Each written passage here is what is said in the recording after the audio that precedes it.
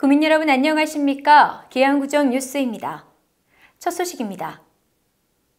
계양구는 지난 30일 계양구청 7층 신비홀에서 계양산성의 역사적 가치와 쟁점 검토라는 주제로 학술 세미나를 개최하였습니다.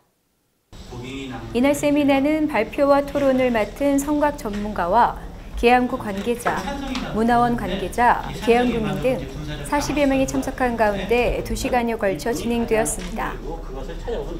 한백문화재연구원 서영일 원장 등 참석 전문가들은 역사적 맥락과 유구, 토기, 기와 등 계양산성에서 확인된 객관적 증거를 분석한 경과를 제시하며 현재의 계양산성에서는 백제의 흔적을 찾기 어렵고 기존의 백제계로 보아졌던 유물도 최근 연구 성과를 종합해 볼 때 신라계로 보는 것이 합리적이라는 의견을 제시했습니다. 계양구는 이날 학술 세미나에서 발표된 연구 결과를 종합하고 보완해 계양산성 사적 지정과 보존 관리의 기초 자료로 활용할 계획이며 문화재청에 관련 자료를 제출하고 사적 지정을 위한 행정 절차를 진행할 예정입니다. 계양구는 지난 27일 병방동 박촌동의 수건이었던 양촌 어린이공원과 박촌 어린이공원의 조성을 완료하고 지역 주민들이 참석하여 성공적인 준공기념 행사를 가졌습니다.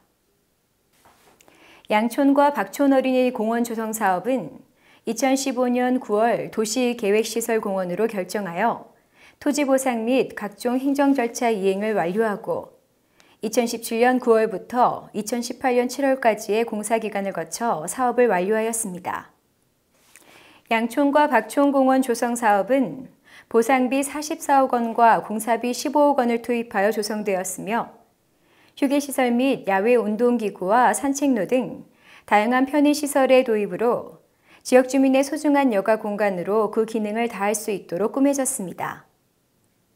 특히 공원 중앙에 위치한 다목적 운동 공간과 놀이시설을 통해 단순한 휴게 공간의 기능을 넘어 가족 단위의 이용이 가능한 공원으로 자리매김할 것으로 기대됩니다.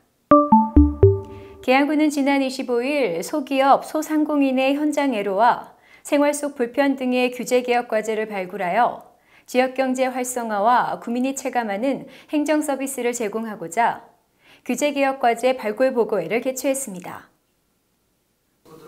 이번 보고회는 부서별로 발굴한 총 42건의 개선 과제에 대하여 각 부서장이 문제점과 개선 방안을 보고한 후 심도 있는 토론으로 진행되었습니다.